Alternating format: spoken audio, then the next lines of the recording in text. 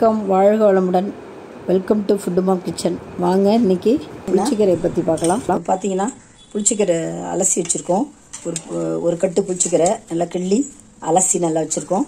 அதே மாதிரி தேவையான இன்க்ரீடியன்ஸ் பார்த்தீங்கன்னா காஞ்ச மிளகா கடுகு உளுத்தம்பருப்பு வெந்தயம். நம்ம நிறைய குவான்டிட்டி செய்ய போகிறதா இருந்தால் நம்ம வெந்தயமும் கடுகும் வறுத்து நுணுக்கி வச்சுக்கலாம். இதை நான் சும்மா கொஞ்சம் தான் இது செஞ்ச உடனே பார்த்தீங்கன்னா கொஞ்சோண்டு ஆகிடும் சுருங்கி போயிடும் அது. எப்பயுமே இது வதங்கினோடனே சுருங்கி போயிடும்.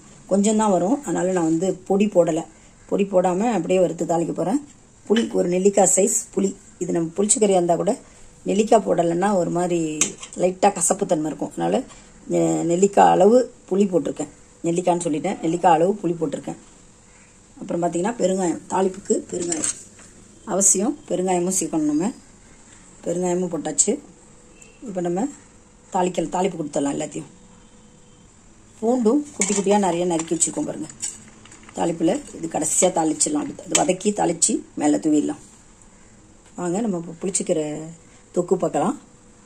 ஃபஸ்ட்டு நம்ம புளிச்சிக்கரையை வதக்கி வச்சுக்கலாம். அதுலேயே புளியும் இருக்குது சின்ன துண்டு தான். நம்ம சின்ன நெல்லிக்காய் சைஸ் புளியும் போட்டிருக்கோம். இது வதங்குச்சுன்னா ரொம்ப துளியோண்டாயிடும் ஒரு கைப்பிடி இருக்குன்னா அது பாதி தான் ஆகும். கொஞ்சம் தான் வரும். அதனால் நான் வந்து ஊறுகாய் மாதிரி செய்யலை தொக்கு மாதிரி செய்கிறேன் நம்ம அதை வதக்கிடுவோம். இந்த சூட்லேயே வதக்கி எடுத்து வச்சுக்குவோம்.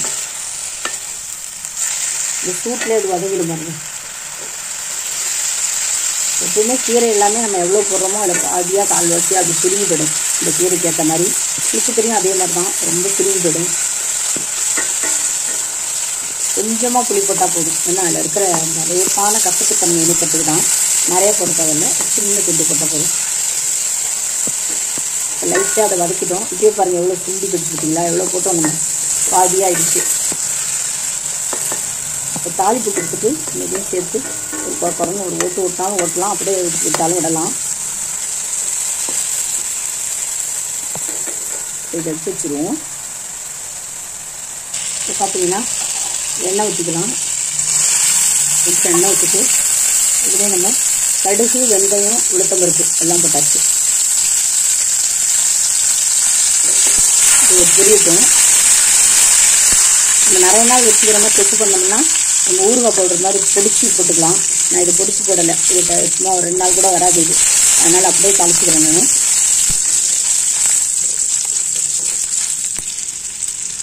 இந்த பெருங்காயம். ஒரு அரை ஸ்பூன் அளவுக்கு நம்ம பெருங்காயம் ஆட் பண்ணிக்கிறோம் இல்லை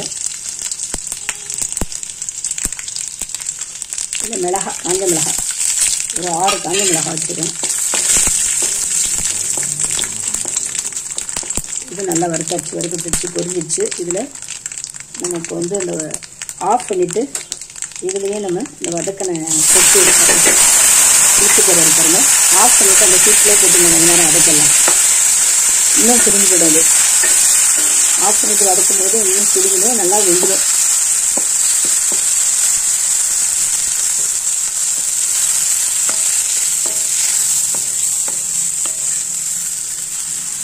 இதில் நம்ம இப்போ தேவையான கல் அளவு கல் உப்பு போட்டுக்கலாம். இந்த மாதிரி அரைக்கிற விஷயத்தெல்லாம் கல் உப்பு போட்டால் நல்லா மஞ்சிடும். அதனால் கல் உப்பு போட்டுக்கலாம். கல் உப்பு போட்டுட்டோம். ஒரு அரை ஸ்பூன் அளவுக்கு கல் உப்பு போட்டிருக்கேன். இதை பார்த்துக்கிட்டு தேவையெல்லாம் போட்டுக்கலாம். இது அப்படியே ஆறட்டுங்க.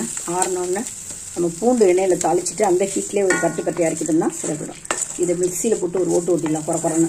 ரொம்ப மழை மழைன்னு ஓட்டாமல் குறை குறைன்னு ஒரு ஓட்டு ஓட்டிடலாம். இன்னொன்று நம்ம மிக்சியில் அரைச்சிடலாம். ஒரு குறை குறைன்னு ஒரு ஓட்டு ஓட்டிடலாம். குறை குறைன்னு ஒரு ஓட்டு ஓட்டியாச்சு. ரொம்ப ம ரொம்ப மழை மழைனும் இல்லாமல் ரொம்ப குறை குறைனும் இல்லாமல் ஒரு ஓட்டு ஓட்டியாச்சு. பட் ஒரு தாளிப்பு கொடுத்துடலாம். தாளிப்புனா ஒன்றும் இல்லை. அந்த பூண்டு நறுக்கி வச்சுருக்கோம் பாருங்கள் அதை வதக்கிட்டு அதில் இதை ஒரு பட்டு கட்டியாக இருக்குன்னா சிறப்பிச்சு பாருங்கள் தண்ணி மிக்சியில் வாஷ் பண்ணி ஊற்றிட்டோம் அரைச்சி வச்ச தொக்கையும் போட்டுட்டோம். நல்லா எண்ணெயாக ரெடி ஆகிடுச்சு இது வந்து டெம்பரவரியாக நம்ம செய்யறது. இது நம்ம தோசைக்கு இட்லிக்கு சாதத்துக்கு எல்லாம் பரட்டி சாப்பிட சரியாக இருக்கும். ரொம்ப நாள் வச்சுக்கிற மாதிரி இருந்தால் ஊறுகாய் மாதிரி செய்யணும். இது நம்ம தொக்கு தான் இது. ரைஸ் சாதத்துக்கு சாம்பார் சாதத்துக்கு எல்லாத்துக்குமே நல்லாயிருக்கும் இப்போ ட்ரான்ஸ்ஃபர் பண்ணிடலாம் அதை. ட்ரான்ஸ்ஃபர் பண்ணியாச்சு. இந்த வீடியோ உங்களுக்கு பிடிச்சிருந்துன்னா லைக் பண்ணுங்கள் கமெண்ட் பண்ணுங்கள் ஷேர் பண்ணுங்கள் மறக்காமல் சப்ஸ்கிரைப் பண்ணுங்கள் தேங்க்ஸ் ஃபார் வாட்சிங்